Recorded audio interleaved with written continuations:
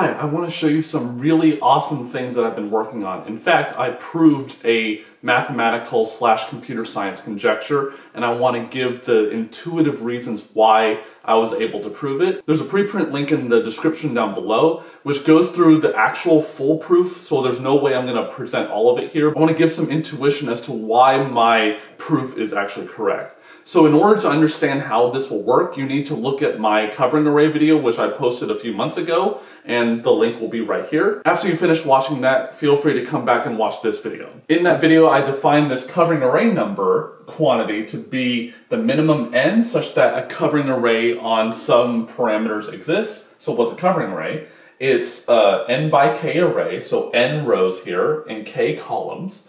And each of the entries within there is one of v possible values. So if like v is 2, that will be a 0 or a 1 in every single position. And what this t parameter says is that no matter what t columns you pick, you will have every single v to the t tuple appear at least once. So if we had, for example, v equal to 2 and t equal to 4 like I have right here, then I need to see 0, 0, 0, 0 somewhere. It doesn't necessarily have to be in this first row, but I need to see it at least once. And then I may need to see 0, 0, 0, 1, 0, 0, 1, 0, etc. And in this particular case, there will be 16 possible 4 tuples because I have two choices for each one of them. So 2 times 2 times 2 times 2 is 16. And what I proved in that last video is how big is this quantity? So what is proven and what I did in that video is that for V and T fixed, if I fix the number of values that you can see and the strength, as it's called, the T value, then this covering array number quantity, can of TKV, is going to be some constant times log K, uh, asymptotically at least. And so if I have, let's say, a billion columns, then that means that the number of rows I will need is going to be a logarithmic of a billion times a constant that depends on v and t, and that constant actually is pretty terrible. It's actually like v to the t, roughly exponential. And what I wanted to do is to generalize a proof. In mathematics, when we try to prove something, we want to prove a generalization of it. So the generalization is to look at a index. So here, I'm going to put a lambda in the, in the subscript right here, and a lambda over here. And what this lambda is, is instead of having every t-tuple appear at least once, I'm going to have it appear at least lambda times. And why would you want such a thing? If we have a non-deterministic testing environment, I want to be able to run the same test multiple times and get more confidence in the system's correctness. If some test is invoking some random calls, then it may give a different answer each time that it's run. So if I run it a whole bunch of times, then that'll give me more confidence in the system's correctness. So what I wanted to figure out was what is can lambda TKV, where V and T are fixed. And it's pretty easy to show that it's lambda times log K or less. And what's the reason for that? Well, what we can do is use the result that we figured out last time. The fact that if we have a covering array of so-called index 1 where everything appears at least once, then we can use log k rows to make such a thing. And we can just do a really, really, really simple thing, which is to literally just duplicate a covering array with index 1. So this is theta log k rows and I can just do it a whole bunch of times. So then if I just literally duplicate the array lambda times, and each time I take log k rows, then that proves that I will use at most lambda times log k times a constant that's hidden by the v and t here, number of rows. But then, is that the absolute best that you can do? And it turns out that it's not. So if we look at what the lower bound can be, we can easily show that can TKV with index lambda is big omega log k plus lambda. No matter what you do, it must be at least linear in lambda plus the log k that we've seen before. And why is this true? So suppose that we take any old covering array, so this is covering array of index 1, and we know it must take at least log k rows in order to do that because the true number is always a constant times log k. So no matter what you do, you must have at least log k rows at all, because that's the best possible answer that you can do anyway, so you can't do any better than that. But in order to complete this to a covering array with index lambda, each thing in here must be covered at least once, and so therefore something in here must be covered exactly once. And so there's some interaction, let's say it's this one right here, and with some values, maybe zeros in all of them, but it doesn't matter. In order to be able to complete that, to have everything covered at least lambda times, this interaction must appear again lambda minus 1 more times. And so therefore, I need at least lambda minus 1 more rows right here.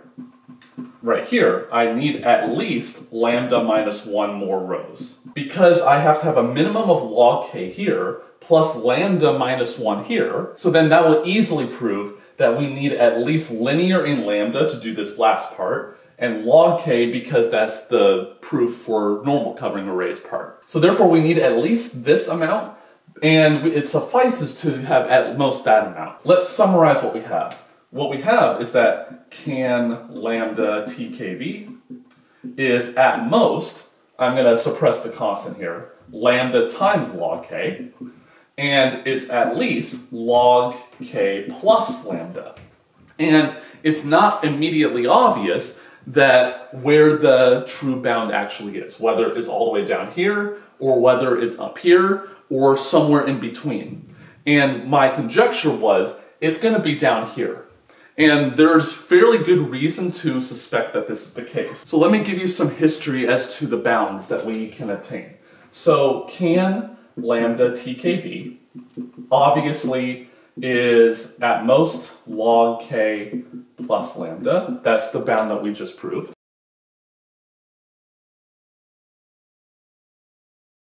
So the next best bound that was proven was by Godbole, uh, Skipper, and Sunley. And what they were able to show was that can lambda tkv, and there are some things I'm going to suppress to make things easy, is uh, log k plus lambda times log log k plus some smaller things that are not so important. And what I was able to show in my dissertation was that uh, something very similar. So I didn't work with covering arrays specifically, but I got basically the same bound, but by a completely different method. And both of these, so uh, GSS and me, use the something called the probabilistic method. And this is the method that I used in the previous video to show that covering arrays are logarithmic in growth in terms of the number of columns. And so this probabilistic method is actually really good. The thing is, is that in my dissertation I used basically the most crude approximation possible, and it was not competitive at all, and because I didn't happen to know any advanced technique. So what I showed this year is that covering array number lambda tkv is that it's logarithmic in k plus lambda. And we showed before that it must be at least that number, and what I'm going to show here is that it's at most that number, so therefore this is asymptotically tight there's no way to improve this without improving the VT parameters. And in every case here, V and T are held as constants. So let me give you some intuition as to how you can actually prove this. Okay, so how do you use the probabilistic method? What you do is you count the expected number of interactions in a randomized array. So if we have a random array right here, and by random I mean you make an array of size n by k, which is the parameters that you want, and you solve for n at the end to be the minimum possible to get the criteria that you want. So here, each of the entries is going to be one of v possible values completely randomly picked. And what we want to figure out is the expected number of interactions that are going to be not lambda covered. So that will not appear at least lambda times. And if you stare at it long enough, it's going to be k choose t times v to the t. And instead of 1 minus something to the n that we had last time, that's going to be the sum from i equals 0 to lambda minus 1 of n choose i, p to the i, 1 minus p to the n minus i. This is a fairly well-known sum, and p here is 1 over v to the t. And I'm using p here just to make things easy. So there's absolutely no way I'm going to go through every single step. You can look at the preprint for that. But all that you need to do, all that you need to do, is to solve for n in this equation for when this is less than 1. So as long as this equation on the left-hand side is less than 1, then we can guarantee the existence of a covering array with n rows. The problem here is that n is in a sum, and it's hard to extract n out of a sum like this because n appears in a binomial coefficient right here, and in the exponent here.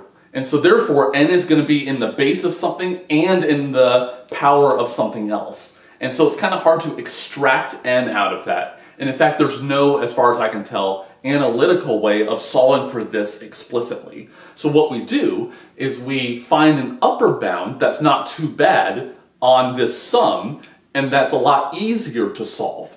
So what we do, or at least what I do, is I take this equation right here, and I'm going to split it in half.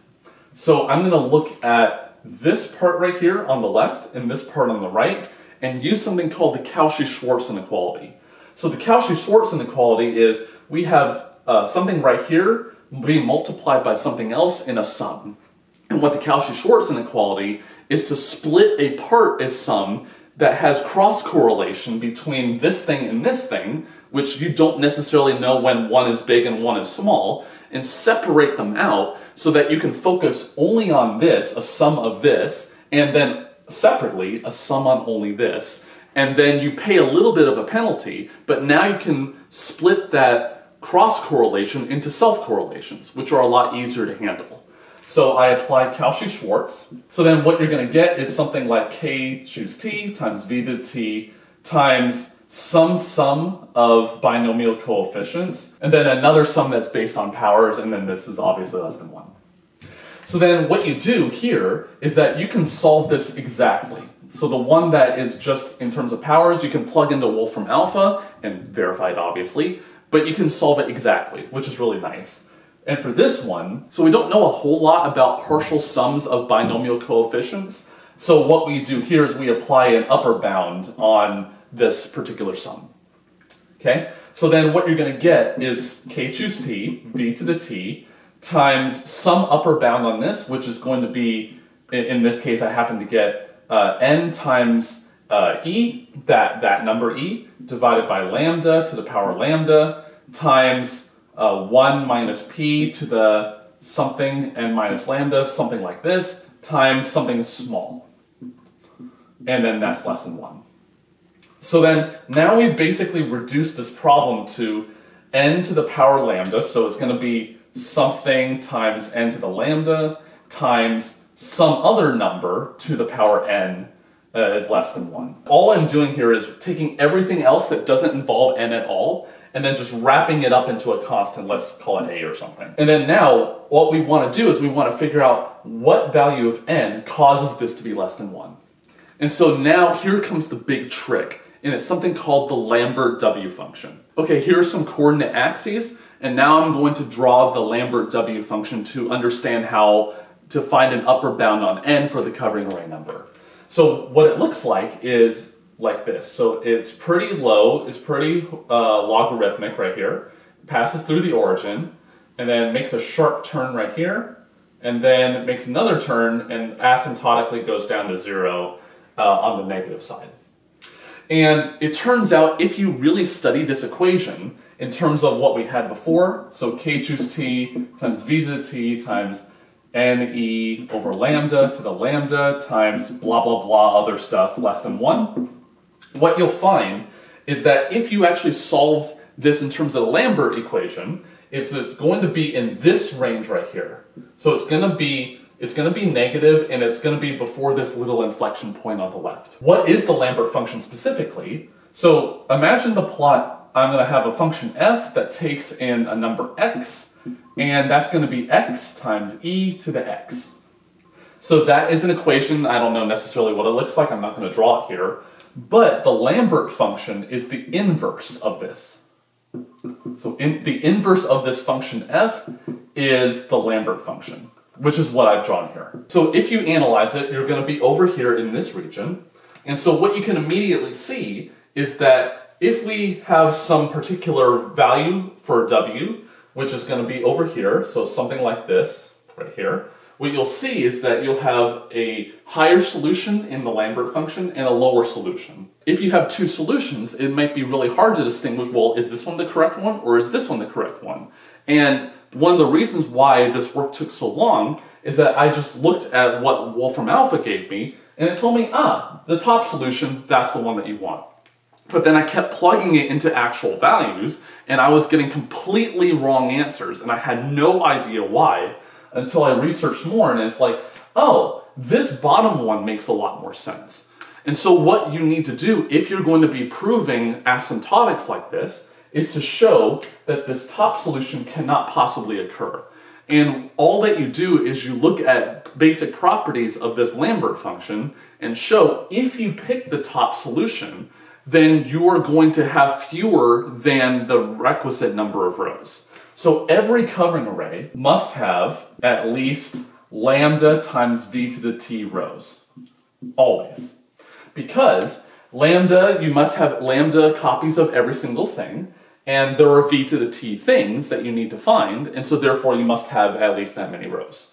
But it turns out that if you pick that top solution, no matter where it is, you will always have fewer than lambda times v to the t rows, and so you can instantly throw it away. You must be in this regime right here, which is after this little inflection point over here and on this bottom curve. So what you eventually get, if you work through all the details, is something like n is less than or equal to lambda times w of some horrible stuff.